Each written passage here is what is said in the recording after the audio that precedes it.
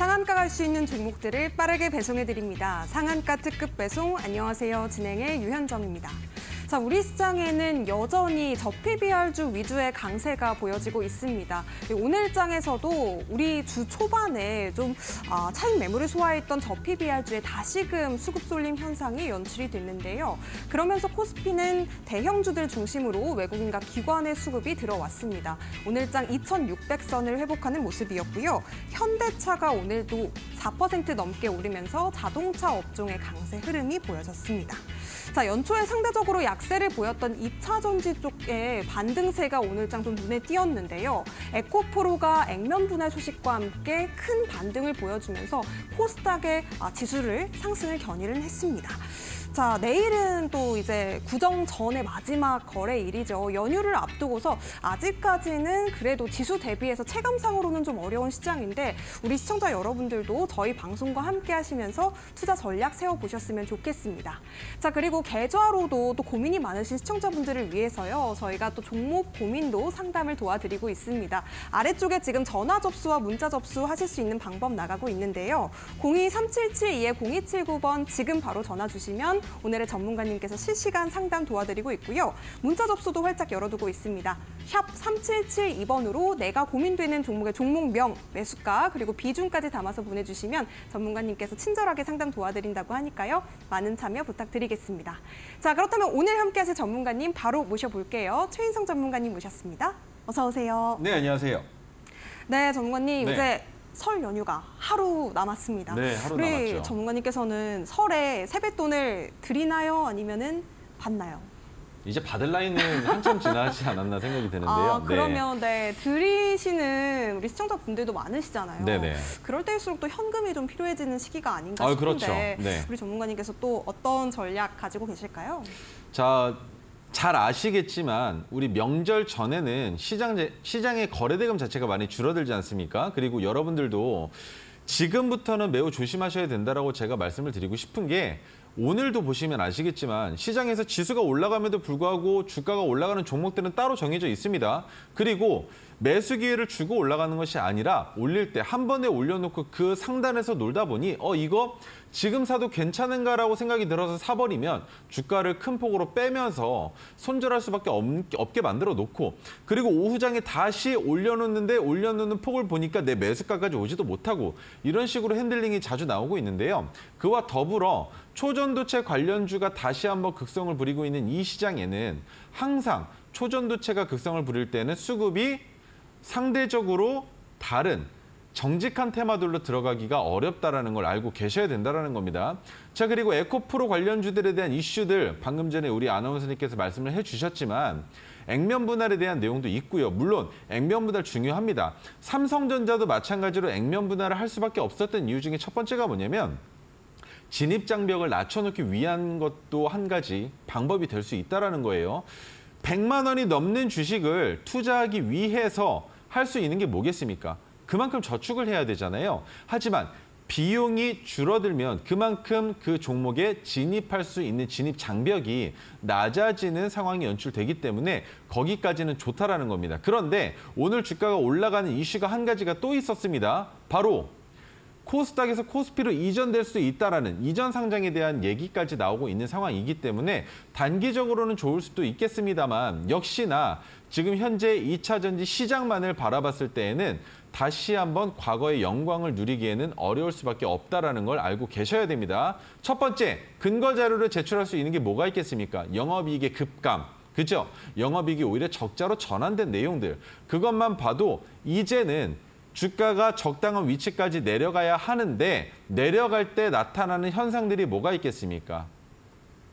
공매도를 잡았던 그 물량들이 매수세로 전환되면서 차익 실현을 하게 됐을 때 주가가 상승하는 모양새가 나타날 수도 있고요. 또 dead cat bounce가 나타날 수도 있고 50만 원대의 가장 강력한 지지선에 부딪히다 보니 주가가 반등이 나오면서 지수를 끌어올려 줬다면 그것이 연속성을 보여줄 수 있을지 그리고 저PBR 관련주들로 들어가 있는 수급이 빠져나와서 2차 전지 쪽으로 흘러 들어갈 수 있는지를 지켜보셔야 되겠지만 우리 시장에서 판단했을 땐 또 다시 올라간 종목들은 뭐가 있었습니까? 2차 전지 쪽보다는 자동차, 소부장주들로 주가의 흐름이 더 옮겨갔었다라는 거죠. 그렇기 때문에 2차 전지의 이상적인 상승 흐름이 나올 것이다라는 기대를 아직은 하기 어렵기 때문에 신규 매수 관점으로도 그리고 현재 보유 중이신 분들의 탈출에 대한 기대감으로 봤을 때에도 아직까지는 그 어떠한 판단도 섣부르게 할 수 없다라고 저는 생각을 하고 있습니다. 네, 좋습니다. 2차 전지 쪽 조금 보수적인 관점으로 좀 접근을 해보자라고 말씀을 해주셨는데요. 2차 전지 관련주들 보유하신 분들도 상당히 많으실 것 같습니다. 속상하신 분들 혹은 최인성 전문가님께 SOS를 좀 요청해보고 싶다 하시는 분들은요. 저희 방송을 통해서 고민 해결도 좀 도와드리고 있으니까요. 종목 상담 참여해보시면 좋을 것 같습니다. 전화번호 023772에 0279번 활짝 열어두고 있습니다. 최인성 전문가님 바로 연결해드리고 있으니까요. 지금 함께 보시기 바라겠고요. 있고요. 문자 접수 샵 3772번으로 받고 있습니다. 종목명과 매수가 그리고 비중 담아서 보내주시면 되겠습니다. 자 그렇다면 함께 하실 수 있는 방법 다시 한번 큰 화면으로 만나보시죠.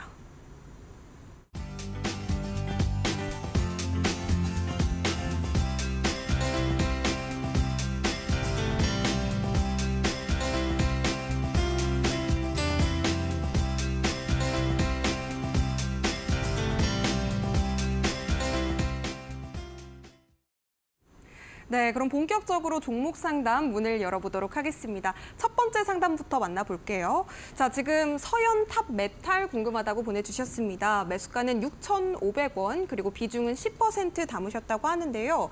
아, 전문가님, 이 종목 오늘 네. 상당히 많이 올랐던 종목인데 지금 윗꼬리 달고 좀 빠지기는 했습니다. 네네네. 어떻게 보실까요? 서연탑메탈 같은 경우에는 두 가지로 엮여 있죠. 저 PBR 관련주로도 보실 수가 있고요. 한 가지 더 보자면 뭐가 있습니까?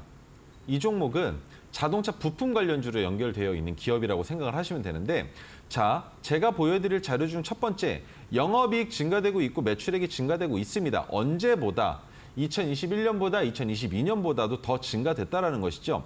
그래서 서현 탄메탈은 언제든지 주가가 상승할 수 있는 가능성이 높은데 최근에 주가가 올라가려다가 못 올라간 것에 대한 내용도 같이 한번 말씀을 드리겠습니다. 그리고 6,500원이라는 가격은 지금 주가가 많이 내려가서 걱정하고 계시겠지만 충분히 6,500원 위로 올라갈 가능성이 높은 종목이고 매도가를 8,000원까지 올려 잡아도 괜찮은 기업이다라는 설명을 먼저 드리겠고요.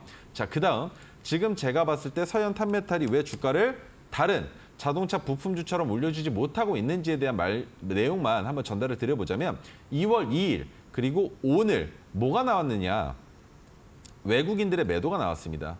자, 그 매도세를 보여드릴 텐데요. 자, 2월 7일 그리고 2월 2일 날 외국인들의 매도세가 강력했습니다. 그 말인 즉, 이 구간에서 외국인들의 매도가 나온다는 건 바닥 구간에서 들어왔었던 아니면 과거 시점부터 모아갔었던 그 물량인지는 모르겠습니다만 그 물량에 대한 차익 실현이 나온 것 뿐이다라고 생각을 하시면 될 것 같고요.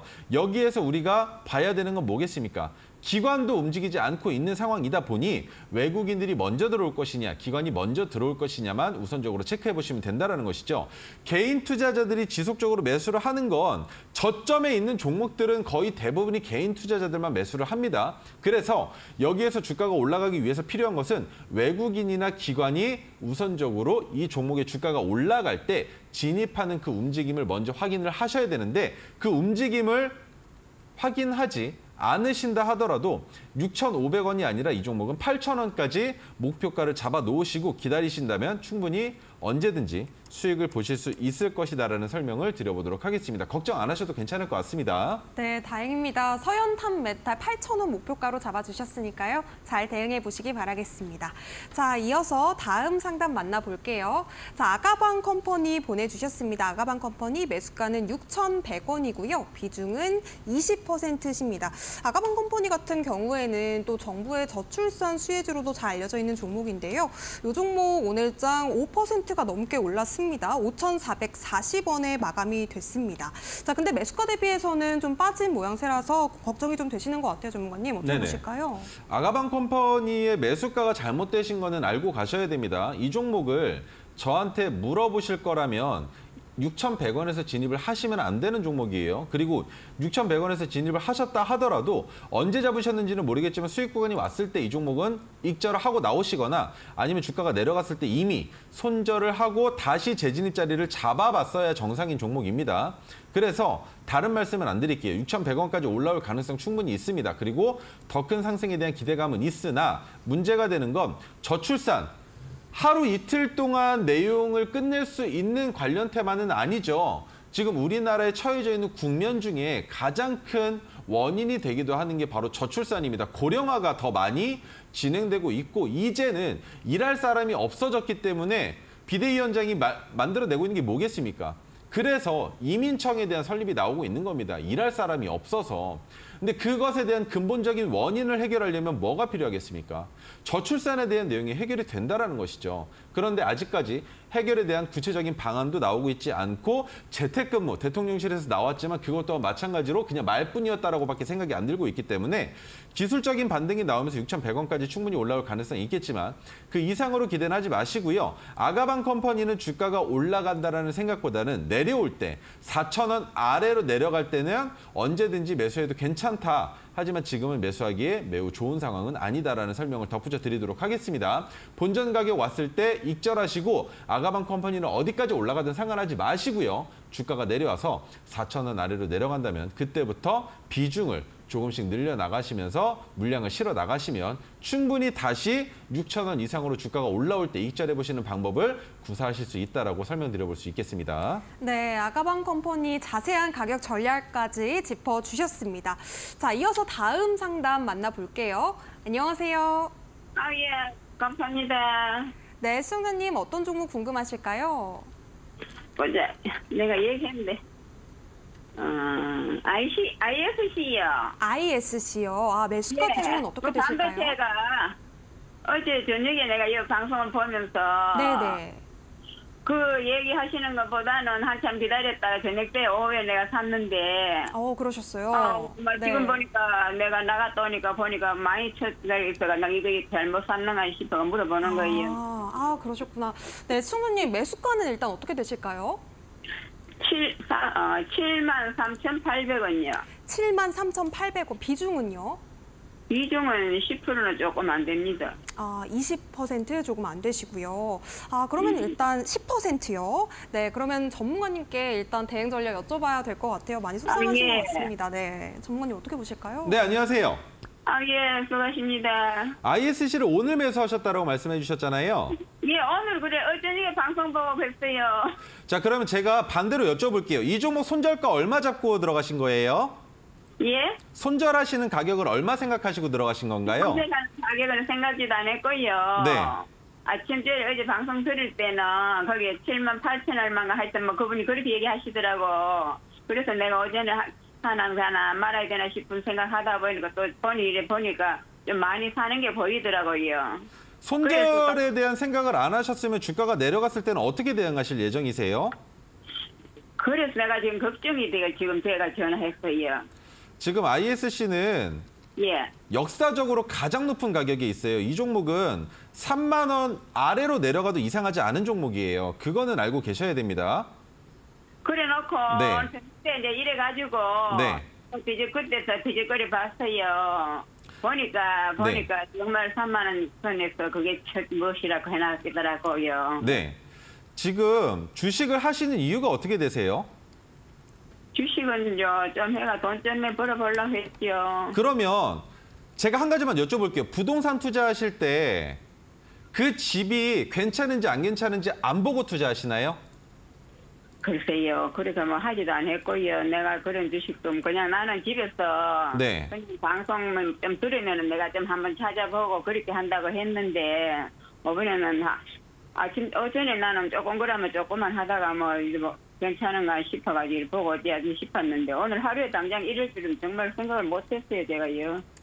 매수하시고 나서 하한가를 가는 경우들도 있어요. 물론 저도 경험을 해봤었지만 물론 네. 꽤 오래전에 2018년에 대북주 관련돼서 종가 베팅을 했다가 시작함과 동시에 마이너스 20%까지 내려갔었던 적도 있었어요. 그래서 네. 이 정도 변동성은 충분히 나올 수 있는데도 불구하고 지금 이 정도 진폭에 지금 마이너스가 얼마 안 되시잖아요.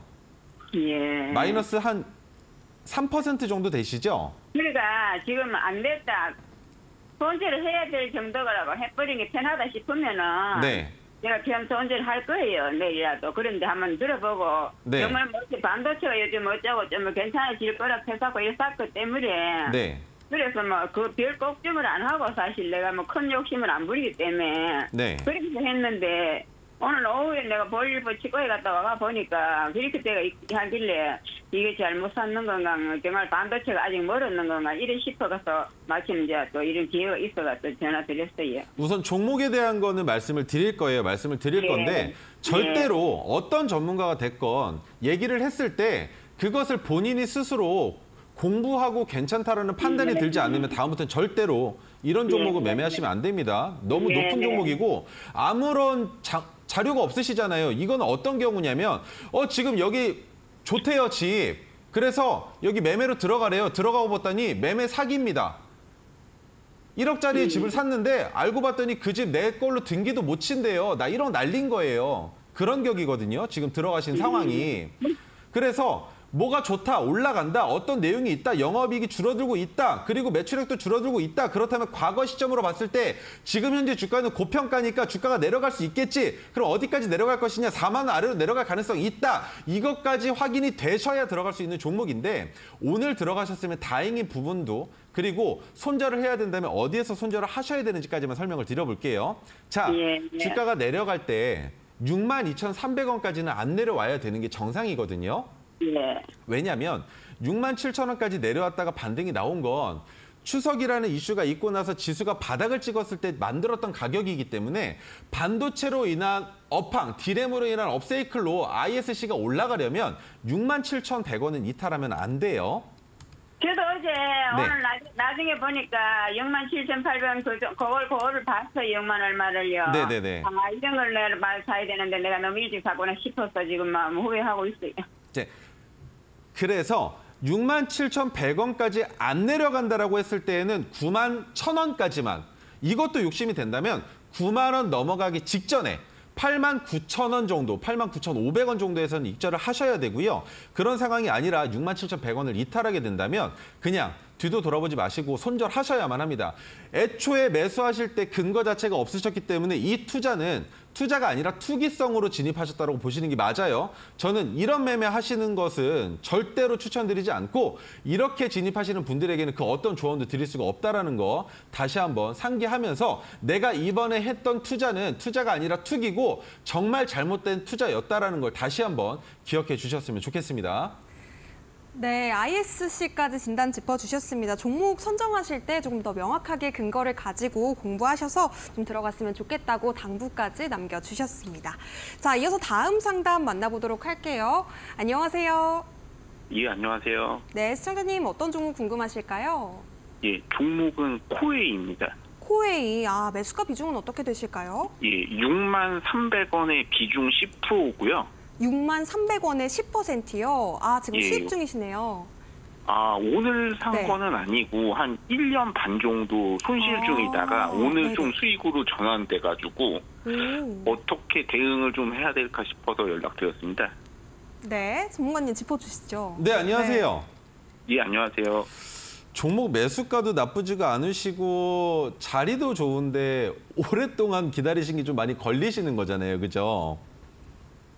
아, 이렇게 거의 네. 이게 제가 마이너스 한 30% 정도 된 것까지 네, 맞아요. 그때도 이제 물타기도 하고 뭐 이러면서 버티었는데 네네네. 사실 그러한 종목이 이제 좀 본정가에 왔을 때 사실 아 이거가 감사합니다 하고 이제 빠져. 나와야 되나 뭐 이런 게 네, 네, 굉장히 좀 애매한 상황이잖아요 사실. 네네네. 항상 그래요, 항상. 왜냐면 네.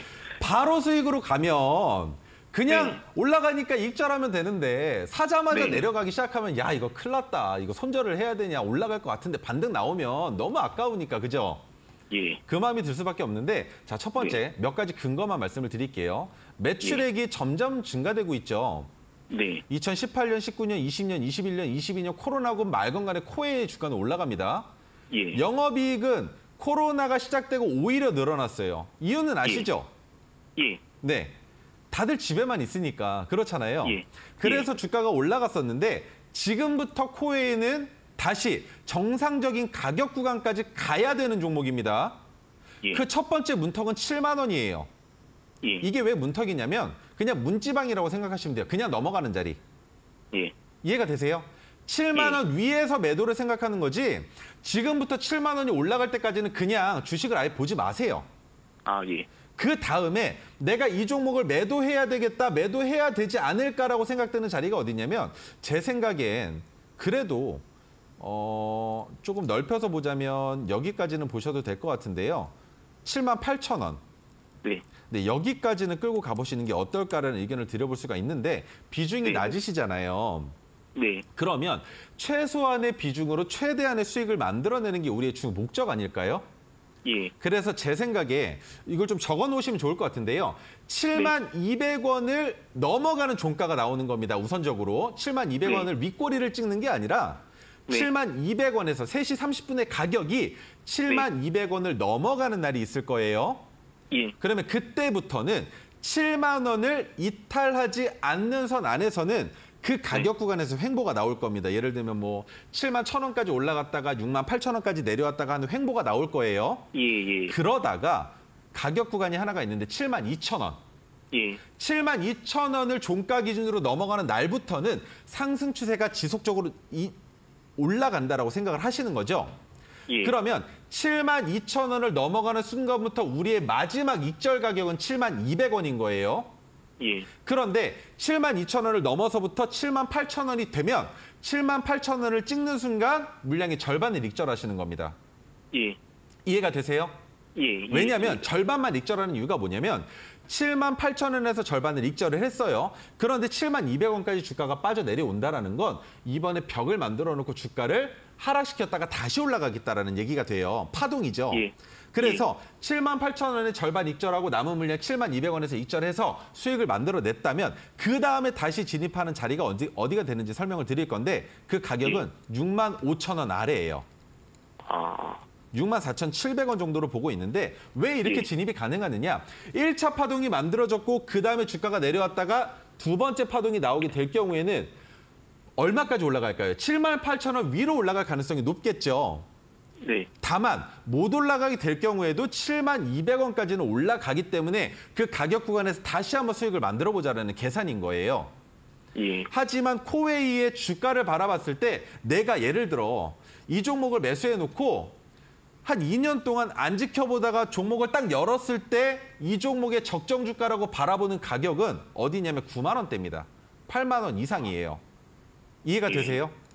예. 왜냐하면 이 종목은 지속적으로 매출도 만들고 있고 영업이익도 만들고 있고 부채 비율과 유보율을 바라봤을 때에도 점점점 좋아지면서 새로운 신사업을 영위해도 문제가 안 되는 기업에 배당도 주고 있고 PBR도 저 PBR이 아닌 상황이라면 지금부터는 올라가기만 하면 되는 종목이란 말이에요. 다만 매수하셨던 시점이 어떻게 보면 정말 좋은 자리였는데도 불구하고 코웨이가 하락하는 추세를 만들어내겠다라고 생각을 했기 때문에 주가가 내려갔다면 지금부터는 올라갈 것이다. 하지만 한 번에 올라가는 것에 대한 기대감은 없다라고 생각을 하셔야 되지만 1차 매수 매도가는 7만 200원이라고만 생각하시면 됩니다. 그 아래로는 절대 매도 안 하셔도 괜찮아요. 올라갈 가능성만 높아지고 있는 기업이기 때문에 올라갔을 때 어디에서 매도할까 정도만 고민을 하시고 이제 본전 가격 오신 거잖아요. 지금부터는 예. 수익 구간에서 어떤 식으로 주가가 변동이 나올지 그리고 지금부터는 다시 본전 아래로 내려간다 하더라도 올라갈 가능성이 너무나 높은 기업이기 때문에 걱정 안 하셔도 괜찮습니다. 오히려 본전 아래로 내려왔을 때 추가 매수 하시는 것도 괜찮은 종목이에요. 네, 코웨이 좀 오랜 시간 동안 고생하셨는데요. 분할 매도 전략까지 짚어주셨습니다. 자, 이어서 다음 상담 만나보도록 할게요. 안녕하세요. 예, 수고 많으십니다. 네, 감사합니다. 시청자님 어떤 종목으로 상담 신청해 주셨을까요? HB 솔루션이 HB 솔루션, 아, 매수가 비중은 어떻게 되실까요? 30%요. 5,800원에 30%. 5,800원에 30%요. 아, 매수가 예, 빨리. 근데 네. 이거 좀 제가 저기. 한 8,000원까지 올라갔을 때도 더 갈 줄 알고 안 팔았는데, 아. 예, 그 네. 대표님한테 그 공시에 대해서 좀 물어보고 싶어가지고 전화드렸어요. 네, 전환 자체 공시가 좀 궁금하신 것. 같아요, 네, 예. 전문가님. 네, 안녕하세요. 예, 대표님 안녕하십니까? 네네. 지금 전환 사태 사태에 대한 공시보다도 중요한 게 HB 예. 솔루션이 어떤 걸 하고 있는 기업인지는 알고 계시죠? 예, 예. 그러면 12 발행은 주가가 올라갈 때 언제든지 나올 수 있다라고 생각을 하셔야 돼요. 어. 그리고 BW도 나올 수 있는 거거든요. 전환 그러니까 어떤 상황이 됐던 간에 주가가 올라가면 기업의 입장에서는 12 발행을 하던 아니면 BW 발행을 하던 그 12 발행, BW 발행으로 통해서 투자자들을 유치해서 다른 사업도 할 수 있는 거고 할 수 있는 것들이 많아지는 기업이 돼요. 그런데 HB 솔루션이 하고 있는 거는 LCD, LED 관련주죠. 디스플레이 쪽이죠. 예. 그래서 디스플레이 관련주는 제가 항상 말씀드리는 게 1월과 2월 달 사이에 CES가 나올 때 그때가 가장 주가가 많이 올라가는 시기다라는 말을 많이 해요.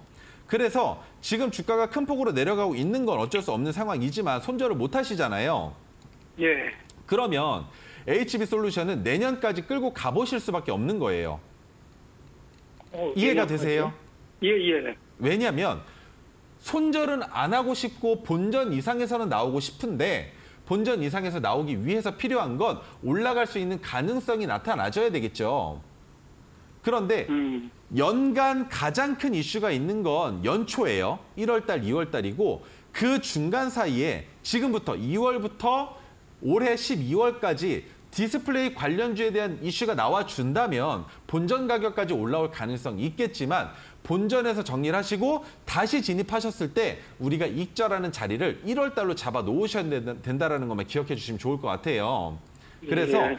지금 전환사채가 나왔던 내용은 어떤 기업이더라도 주가가 올라가면 언제든지 나올 수가 있거든요.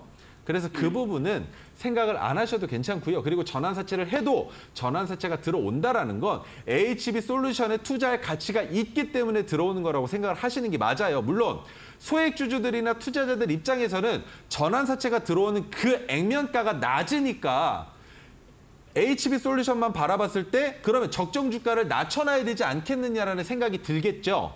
예. 하지만 그렇다 하더라도 가장 큰 빅 이벤트가 있는 연초에 SAC가 나올 때라면 주가가 다시 본전 위로 올라갈 수 있으니 그때까지는 손절하지 않으시고 홀딩하실 수밖에 없다라고밖에 말씀을 드려볼 수가 없거든요. 괜찮으실까요? 예, 예. 무슨 얘기인지 알겠습니다. 네. 그러면 전환사채는 걱정하지 않으시고 연초에 익절하시는 걸로 이 종목 끌고 가보셨으면 좋겠습니다. 네, HB 솔루션 조금 길게 보셔야 될 것 같습니다. 홀딩 전략 짚어주셨고요. 이어서 다음 상담도 만나보도록 하겠습니다. 안녕하세요. 안녕하세요. 반갑습니다. 네, 감사합니다. 시청자님 어떤 종목 궁금하실까요? 네, LNF고요. LNF 매수가 비중 네. 어떻게 되세요? 매수가가 21만 원이고 비중이 한 10% 정도 되는데요. 아, LNF 21만 원에 10% 가지고 계세요. 아, 네. 네, 2차 전지 오늘 조금 올라서 좀 기대를 했는데 아직은 그래도 매수가 대비해서는 좀 많이 빠져 있습니다. 전문가님 네. 어떻게 보실까요? 어, 네, 안녕하세요. 안녕하세요. 네. 잘 보고 있습니다. 네, 이 종목 제가 다른 말씀을 안 드릴게요. 어떤 걸로 투자했는지까지 이미 다 알고 계시죠? 네, 네. 네. 그러면 LNF 같은 경우에는 추가 매수 안 하면 21만 원까지도 당도하기 어려울 수 있다라는 내용까지도 생각을 해 주셔야만 해요. 그래서요. 네. 저기 지금 시점에 지금 많이 빠져 있어서 네. 제가 조금 조금 저 추가 매수를 좀 해서 단가를 좀 떨어뜨리면 어떨까 싶어서 전화드려봤어요. 지금 쌍바닥이 완성이 되어 준다면 괜찮거든요. 그런데 아. 제 생각엔 쌍바닥 안 나올 것 같아요. 아, 안 나올 것 지금 같아요. 네, 몇 가지 근거를 드려볼게요. 한번 생각을 해봐 주세요. 매출액이 네. 점점 증가가 됐는데 올해도 증가가 됐잖아요. LNF는 네. 전고체 쪽으로만 보시는 건데 근데 영업이익이 급감을 했죠. 네. 근데 에코프로도 마찬가지 아닌가요, 지금? 그죠? 네, 네. 그래서 에코프로처럼 똑같이 적정 주가가 내려간다면 LNF도 마찬가지로 지금이 바닥이 아니라 한 번 더 내려갈 수도 있다라는 생각이 드는 거죠. 그래서 아, 드릴 수 예. 있는 얘기는 뭐냐면 만약에 저라면 저라면이에요. 예. 이 종목 지금 가격에서 추가 매수 합니다. 저는 10% 추가 매수 해요. 왜냐하면 예. 10% 추가 매수하고 주가가 만약에 더 내려가면 제가 예. 보고 있는 자리는 이 종목 9만 원대까지 보고 있거든요. 아, 거기까지 예. 내려갔을 때 한 번 더 추가 매수해서 내가 평균 단가를 14만 원 정도까지 낮춰놓고 탈출한다예요. 예. 그래서 지금 21만 원이시면 지금 추가 매수하시면 그래도 한 17만 원 정도의 평균 단가 나오시겠죠. 네. 그러면 이번에 2차 전지의 돌풍이 불어오면서 저 PBR 관련주 울- 올라가면서 2차 전지 관련주 같이 올라갈 때 기술적 반등이 나왔을 때 올라갈 수 있는 가격 구간에 딱 들어올 거예요. 그러면 예. 대략적으로 한 5% 정도 손실 구간 아니면 본전 가격 조금 넘어가는 정도까지 주가가 올라올 수 있다고 저는 보고 있거든요. 네. 그렇게 하실 수 있으실까요? 아, 네, 알겠습니다. 네, 그래서 이 종목은 추가 매수해서 평균 단가 낮춰놓으시고 본전 가격 혹은 마이너스 5% 정도에서 손절하시거나 아니면 주가가 더 내려갔을 때 추가 매수 한 번 더 할 수 있다라고 생각을 하신다면 이번에 추가 매수하는 의견 괜찮다라고 설명드려볼 수 있습니다. 네, LNF 추가 매수 후 매도 전략까지 함께 어, 짚어주셨습니다. 잘 대응해 보시기 바라겠고요. 다, 자, 다음 상담도 만나보도록 하겠습니다. 안녕하세요. 네, 지금 전화 연결이 고르지 못해서 문자 상담으로 이어가 보도록 하겠습니다. 자, 지금 옵트론텍 보내주셨어요. 옵트론텍 매수가는 4,500원이고요. 비중은 20% 담으셨다고 합니다. 옵트론텍, 어, 전문가님 요즘은 어떻게 네. 보실까요? 옵트론텍 지금 4,500원에 20% 이렇게 보내주셨는데요. 자, 첫 번째로 네. 설명드릴 거는 4,500원이라는 얘기를 듣자마자 저는 기분이 좋았습니다. 오. 자, 영업이익이 적자를 기록하다가 올 작년이죠. 23년에 흑자로 전환됐는데 자, 보시면 흑자로 전환됐음에도 불구하고 주가가 못 올라갔습니다. 그렇다면 옵트론텍은 지금부터 올라갈 수 있는 가격 구간을 더 높이 측정해야 되겠죠. 최소한 이 종목은 6,500원, 6,000원까지는 보셔야 돼요. 그래서 저는 6,500원 정도까지 보시고 6,500원에서 비중 10% 익절하시고 남은 물량 끌고 가보시는 건 정말 괜찮다라고 보고 있고요. 이런 자리에서 진입을 하셔야 주가가 높이 올라갔을 때 예를 들어 이 종목이 만 원대까지 올라갔습니다. 그럴 때 그 가격 구간에서 변동성이 생기고 상한가를 가건 하한가를 가건 버틸 수가 있는 거죠. 하지만 이런 자리가 아니라면 버틸 수가 없는 겁니다. 그래서 4,500원은 걱정하실 필요 없는 매수가라고 설명드려볼 수가 있고요. 조금 무섭다면 6,000원 1차 매도 하지만 물량은 절반 정도 매도를 하셔야 되고 그 다음에 6,500원 넘어서 주가가 더 큰 폭으로 올라갈 가능성이 있기 때문에 옵트론텍은 장기적으로 기다려보시면 좋은 성과 거두실 수 있을 거다라고 저는 설명드릴 수 있습니다. 네, 옵트론텍 일단 1차 목표가 짚어주셨습니다. 6,000원 잘 메모해 보시기 바라겠고요. 저희가 종목 상담은 여기까지 마무리해 보도록 하겠습니다. 자, 저희가 제공해 드리는 정보는요. 투자 판단에 대한 조언입니다. 해당 종목의 가치와 상승은 보장하지 않으니까요. 이점 도 유의해 보시기 바라겠습니다. 자, 잠시 뒤에는요. 완벽한 펀더멘탈 분석부터 테크니컬한 부분까지 정말 치열한 고민으로 오늘 또 최인성 전문가님께서 여러분들께 가져다 드릴 특급 배송 중- 종목이 기다리고 있습니다. 잠시 후에 만나볼게요.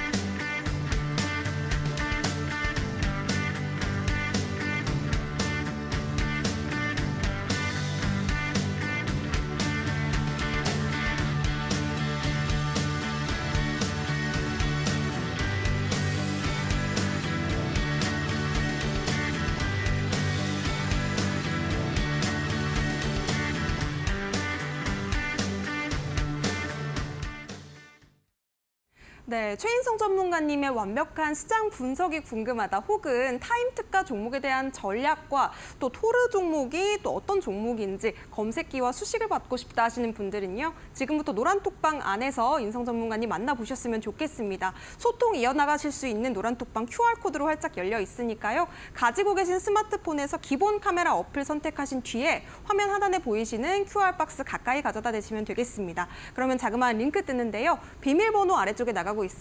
8784 입력하시고 입장해 보시면 좋겠습니다.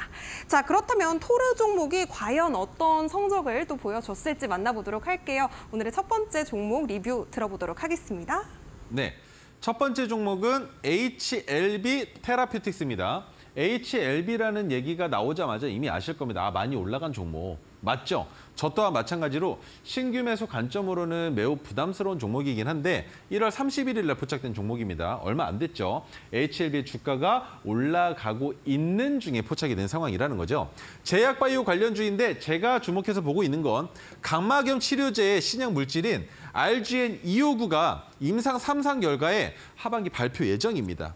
이 내용이 가장 중요하다고 볼 수 있고요. 한 가지 더 설명을 드려보자면 모 회사에서 나오고 있는 내용인데 모 회사인 HLB의 간암 치료 신약 후보 물질인 리보세나림이 3월 예정된 FDA final review 후에 5월 최종 승인 발표에 대한 기대감이 있습니다. 그래서 이것으로 봤을 때 HLB 테라퓨틱스의 주가가 더 올라갈 것이냐? 아니죠.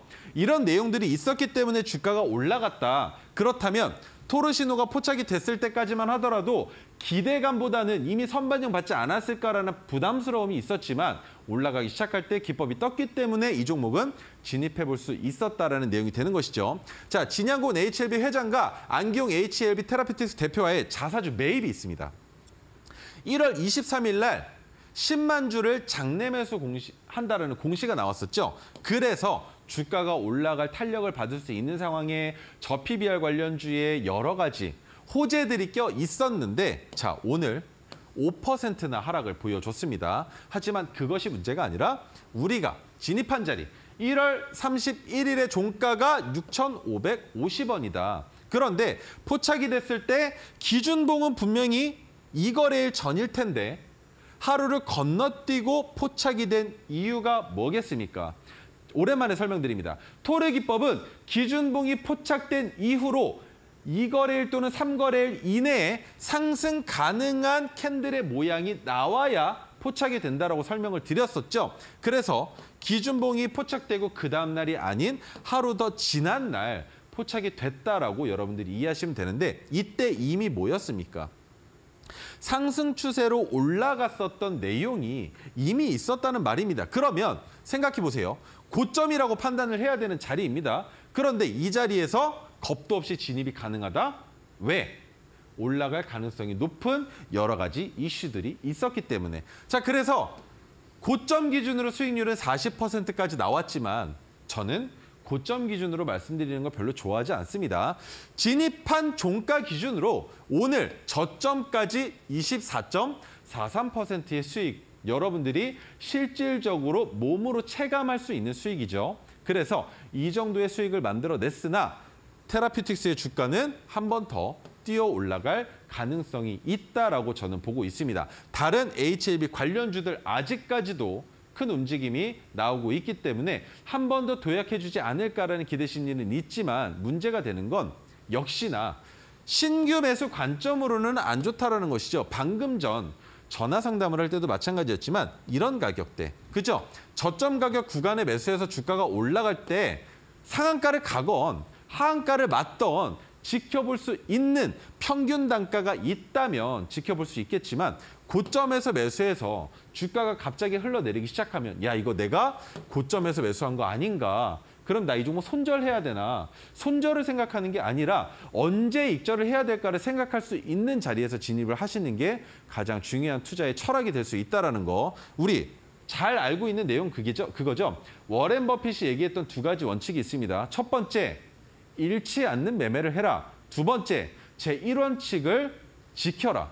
그러려면 가장 중요한 거, 기업의 재무제표가 건전하면서 주가가 바닥 구간에 있을 것이며 박스권으로 봤을 때 언제든지 도달할 수 있는 고점 박스권이 있어야 한다라는 것. 그 모든 것이 충족된다 하더라도 우리나라는 박스권의 장세뿐만이 아니라 기업의 농간으로 인해서 주가가 올라가지 못하는 경우들 또한 항상 도사리고 있기 때문에 투자를 할 때 꼭 유의해야 되는 건 그래도 그런 모든 것들을 조심해야 됨에도 불구하고 고점에 있는 종목들 매수하지 말자는 겁니다. 거래 대금이 아무리 많이 붙고 있고 외국인들이 연속성을 보여주면서 주식을 사고 있어도 외국인들이 매도할 때는 내가 손절하더라도 같이 손절해야 된다는 겁니다. 이해가 되실까요? 기관이 매수할 때도 마찬가지입니다. 기관이 매수를 이어갑니다. 저 PBR 관련주 올라갈 때 기관이 먼저 시작했죠. 그런데 제가 뭐라고 설명드렸습니까? 기관이 사고 있으니 외국인이 들어오면 그때부터 시작일 겁니다. 그 자리가 여기예요. 그러면 외국인이 들어왔으면 어떻게 되겠습니까? 개인들이 매도하는 시장이 열리겠죠. 그 개인들은 저점에서 올라가는 그 약수익 구간의 차익 실현을 하는 것이고 외국인들은 주가를 끝까지 끌어올려서 고점에서부터 어떤 식으로 매도를 합니까? 올라갈 때가 아니라 내려가면서 매도를 합니다. 그래서 여러분들은 그 자리에서 뭘 하나요? 물타기를 하시죠. 왜 물타기를 합니까? 올라갈 것 같은데 평균 단가 조금이라도 낮춰보려고. 근데 그게 가장 큰 페인이라는 거죠. 외국인들이 매도가 나오기 시작하면 예를 들어 외국인이 5거래일 연속으로 매수를 했습니다. 그런데 1거래일 매도가 나와요. 매도가 1거래일 나왔습니다. 오늘 매도가 나왔어요. 그러면 여기에서 다시 매수를 할 가능성이 높겠습니까? 아니면 매도를 할 가능성이 높겠습니까? 아무도 모르겠죠. 하지만 고점 구간이라면 매도를 생각하는 게 1%라도 더 많아야 정상입니다. 그러면 그 1%로 먹고 사는 곳이 있죠. 바로 카지노인데 카지노를 생각해 봤을 때 그 1%의 확률 때문에 우리가 플레이어의 베팅을 하는 것과 같은 겁니다. 그래서 매도가 나오면 연속적인 매도가 나올 수 있다고 생각을 하시고 물타기를 안 하고 지켜보시는 게 맞는 거예요. 여기에 외국인들이 저점을 찍었다라고 생각이 들고 매수가 들어오면 그때 물타기를 해도 늦지 않는다라는 겁니다. 주가가 아무리 많이 내려갔다 하더라도 그렇죠? 외국인들이 다시 들어온다라는 것이 자리에서는 한 번 더 올려볼 수 있다라고 생각하기 때문이고 우리가 매수한 가격이 고점이라면 평균 단가가 중반까지 내려오겠죠. 그러면 여기까지 올릴 때 우리 뭐 하면 됩니까? 탈출. 그렇죠? 그래서 외국인들이 매도할 때는 따라 들어가시면 위험하고요. 물타기를 하시려면 주가가 내려갈 때 하셔야 되기 때문에 그 원칙, 고점에서 매매 안 하는 게 가장 좋겠지만 이미 진입했다면 이 원칙적인 시나리오를 구상하셔야만 탈출이 가능합니다. 더 좋은 상황이라면 수익도 만들어 보실 수 있겠죠. 최근에 우진엔텍 같은 경우에 어떤 움직임이 나와줬느냐. 외국인들이 장중에 한 번씩 크게 쐈습니다. 그런데 이 크게 쏠 때 물려 있었던 물량이 오늘 본전에서 나가고 나니까 우진엔텍이 상한가까지 아주 자연스럽게 올라갈 수 있다는 것이죠. 왜입니까? 차익 실현 매물들은 이미 다 정리가 끝났어요. 그러면 지금부터 주가를 올려놓으면 그 다음날 갭을 띄우면 뭐가 됩니까? 상장된 이래 역사적 신고점을 돌파하는 자리가 되죠. 여기서 뭐가 들어오겠습니까? 개인 투자자들의 매수세가 들어오는데 외국인들은 뭘 하면 되겠습니까? 매도. 그죠? 하지만 여기에서도 외국인들이 추가적인 매수세가 들어온다면 우진엔텍은 오늘 상한가가 문제가 아니라 연속적인 상승도 나올 수 있다라고 볼 수 있는 거겠죠. 그래서 지금 우진엔텍뿐만이 아니라 모든 종목 다 마찬가지로 고점에 물려 있으시다면 손절하시는 방법 이 가격에서는 내가 손절을 해야지라는 원칙을 정해 놓으셔야만 투자가 정상적으로 일어나지 안 그러면 뇌동매매에 빠져들게 되면서 그때부터는 주식시장에 대한 혐오감밖에 들지 않기 때문에 꼭 여러분들도 저처럼 시나리오를 세우셨으면 좋겠습니다. 자, 두 번째 종목 하나생명입니다. 방금 설명드렸던 HLB 테라피틱스와 마찬가지인데 이 종목은 1월 17일 날 토르시노가 포착된 종목이에요. 보험, 저 PBR 관련주로 주가가 올라갈 수 있는 모든 것들이 있었는데 자, 바로 넘어가죠. 하나생명은 처음 포착됐을 때 HLB 테라피틱스와 비슷하죠. 올라가기 시작을 하다가 포착된 자리가 동일합니다. 이때가 뭐였냐? 아직까지 외국인들의 매수세가 눈치 볼 때예요. 눈치 볼 때. 기관들만 들어오면서 주가를 끌어올리고 있었던 코스닥 시장을 박살내고 있었던 코스닥 시장에 있었던 기관들의 자금이 코스피로 들어오고 있었던 그 시장에 생명입니다. 생명. 보험 관련주죠. 자, 첫 번째로 저 PBR 관련주에서 주가가 올라갔었던 건 은행. 그렇죠? 그다음 보험. 그렇죠? 이렇게 순차적으로 이어졌었는데 자, 주가가 올라가기 시작하면서 첫 번째로 포착된 가격이 바로 이때입니다. 그런데 한 번 더 포착이 됐어요. 1월 31일 날 고점이죠. 고점입니다. 이 자리에서는 매수하지 말라고 방금 설명을 드렸죠. 그런데 기법이 뜨면 원칙적으로 대응할 수 있는 거 아닙니까? 무슨 원칙? 첫 번째, 토르시노가 포착된 날에 종가를 수평선을 이어서 만든 우리가 종가 베팅하는 금액, 그 금액에서부터 마이너스 5%가 이탈되면 손절한다. 원칙이잖아요. 그런데 주가가 올라가게 되면 우리 뭐 한다? 익절한다. 그죠? 그런데 1월 31일 날 포착되고 나서 주가의 상승을 봤을 때 얼마나 될 것 같으세요?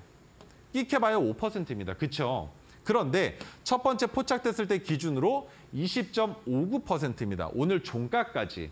그러면 1차 매수를 해서 수익 구간이 오고 있는데 매도를 하려고 보니 또 한 번 떴으면 이 종목 추가 매수도 가능한 겁니다.